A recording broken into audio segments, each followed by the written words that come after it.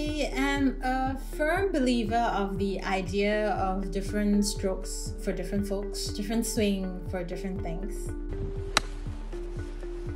My name is Genie, and I currently am the head of public affairs for Asia Pacific at Kaspersky. For the public affairs role, there are actually is one element of public policy and regulations and advocacy that you we generally need to look after.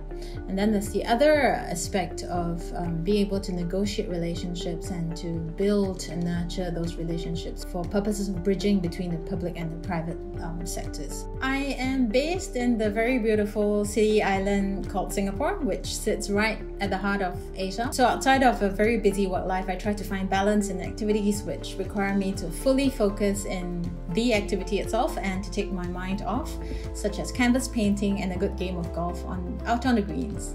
I am a firm believer of the idea of different strokes for different folks, different swing for different things.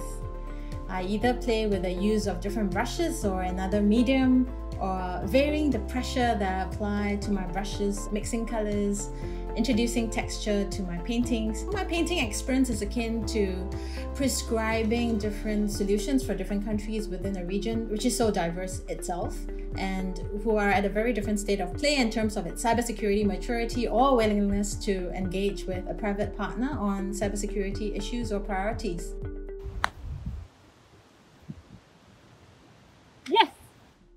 Watch the full video.